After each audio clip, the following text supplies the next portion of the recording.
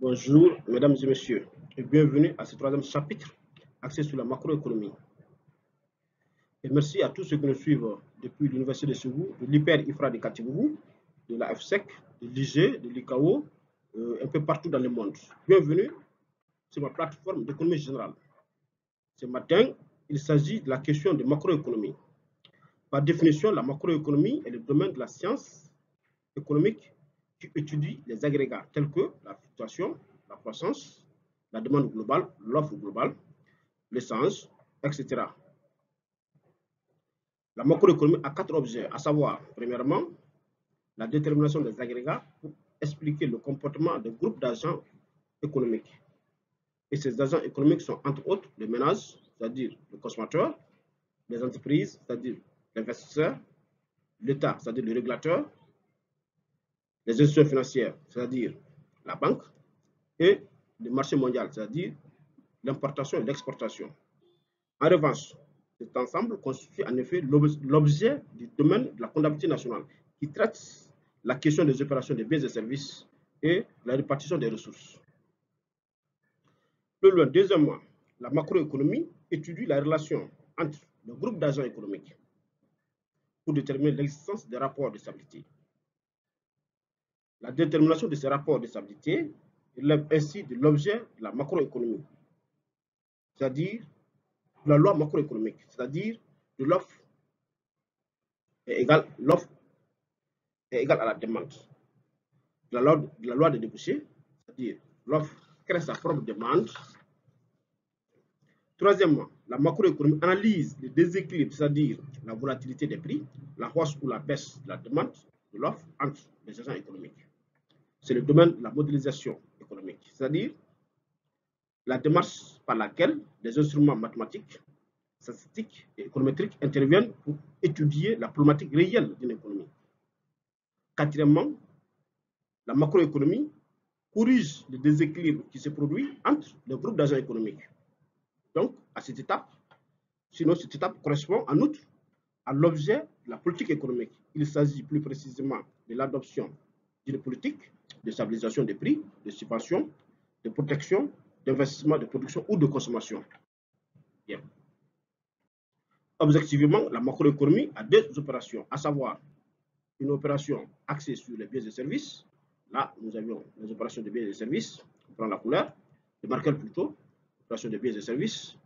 Et deux, une opération axée sur la répartition des ressources, comme nous l'avons vu dans la comptabilité nationale. En effet, ces opérations se réalisent avec les ménages, c'est-à-dire le consommateur, avec l'entreprise, c'est-à-dire l'investisseur, avec l'État, c'est-à-dire le régulateur du marché, avec les institutions financières, c'est-à-dire la banque. Donc, ces quatre identités correspondent, ou sinon, font partir de la situation d'une économie fermée. Donc, ce qui veut dire, lorsque on est dans une situation d'économie fermée, on a le consommateur, l'investisseur, le gouvernement et le marché financier.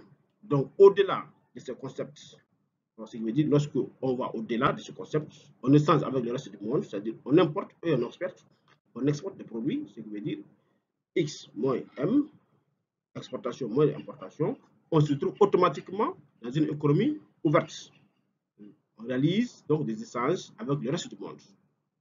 Voilà donc comment se réalisent donc des opérations macroéconomiques dans une économie fermée et dans une économie ouverte.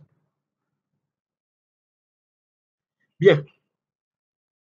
Par conséquent, concernant les ménages, on observe deux opérations principales. La fonction de consommation et la fonction d'épargne. Cependant, la fonction d'épargne s'écrit sous la forme C égale, grand C égale, consommation égale petit c, ça veut dire proportion marginale à consommer sur le revenu disponible Y plus la consommation incompressible. Alors, ça veut dire quoi la consommation incompressible C'est lorsque l'individu est inactif et qu'il doit consommer. Ou par exemple, un individu en chômage doit consommer pour survivre. Donc, cette consommation est appelée consommation incompréhensible. Et c'est symbolisé par donc, le symbole C0 ici. Cependant, la fonction, par ailleurs, la fonction donc d'épargne s'écrit sous la forme grand S est égal petit s, proportion marginale à épargner sur le revenu Y moins la consommation incompréhensible. Donc, à ne pas confondre donc, la fonction de consommation et la fonction d'épargne. Ou, c'est-à-dire, l'autre côté, on fait une soustraction de la fonction euh, de la consommation incompréhensible, ou l'autre côté, on ajoute ici sur la, sur la fonction de consommation. Donc, les identités sont définies ici, consommation, proportion marginale à consommer, S, proportion marginale à épargner, C0, la consommation incompressible, et Y égale donc le revenu national, c'est-à-dire toute la richesse d'une nation, d'une économie, alors c'est défini la suivante. Y égale C plus investissement. Bien. Et lorsque le gouvernement prélève des impôts, alors cette consommation change automatiquement de, de, de, données. Ce qui veut dire la consommation devient cependant grand C égale petit c, proportion marginale à consommer sur le revenu disponible. Donc, on ajoute le revenu disponible plus la consommation incompressible. Alors, le revenu disponible, YD, est égal à Y, c'est-à-dire le, euh, euh, le, revenu moins les impôts. Lorsque l'État prélève donc des taxes, des impôts, des patentes, tout ce qu'il y a donc pour pouvoir s'enrichir. Bien. Voilà un peu à peu près le comportement donc du consommateur. En gros, sinon du, du, du ménage. Dans une économie, il y a deux agents économiques, c'est-à-dire le ménage et l'entreprise. Notre richesse devient cependant Y est à la consommation plus investissement. Nous utilisons I au lieu de S, c'est-à-dire investissement au lieu d'épargne, pour justifier que les entreprises utilisent l'épargne des ménages pour investir. Donc, raison pour laquelle, alors, notre fonction, alors, euh, euh, fonction égale, Y égale consommation plus investissement. Donc, en remplaçant donc la consommation par sa valeur, comme nous l'avons vu précédemment, dans le cas de la consommation, nous retrouvons, nous, obtenons Y égale à CY plus, c'est-à-dire CY, la proportion marginale à, euh, la proportion marginale à consommer sur le revenu, plus la consommation incompréhensible, plus l'investissement. Donc, par conséquent, alors, en déduisant toutes ces formules, nous revenons à un, revenu d'équilibre, à des agents, ce qui veut dire quoi? Bien. Alors, YI, YE, revenu d'équilibre, est égal à consommation incompréhensible plus investissement sur 1 moins C. Alors, RE est le revenu d'équilibre sur le marché des biens et services.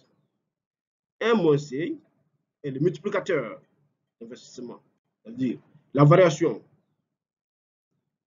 ou sinon l'impact d'une variation d'investissement sur le revenu. Donc, ce qui nous permet de dire le type de politique qu'il faudrait alors euh, adopter, c'est-à-dire soit augmenter la consommation incompressible, c'est-à-dire que lorsque la nation ne travaille pas, est-ce qu'il faudrait augmenter sa consommation ou réduire sa consommation? Voilà le type de politique à adopter donc à l'égard donc d'une euh, économie à agents, le ménage et l'entreprise. Ou si vous venez en aide donc à, à l'entreprise. Donc, le reste alors de ces formules-là nous permet de, de, de déduire à la fois aussi la fonction d'épargne. Y est égal à la consommation. Donc, tout en ayant à l'œil que euh, la consommation est égale à la proportion marginale à consommer sur le revenu disponible plus la consommation incompressible.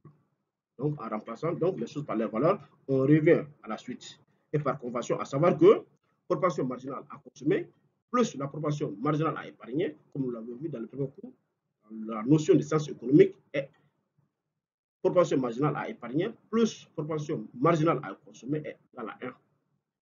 nous permet de dire alors cet écart correspond au seuil de rupture du niveau du revenu pour lequel la collectivité n'épargne rien. Et la formule est la suivante. Le bas.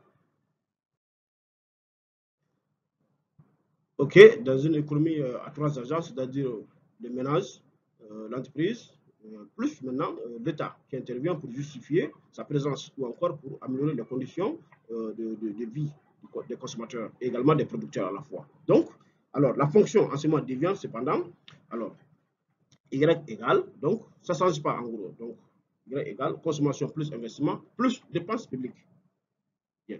Donc, en remplaçant les choses par leur valeur, à savoir que le revenu disponible est égal au revenu moins impôt, c'est-à-dire les taxes prélevées sur le revenu disponible. OK Donc, T égale alors taxes, c'est-à-dire toutes, les, impositions, les taxes d'imposition sur la consommation, sur la production et sur les achats ou encore sur les services.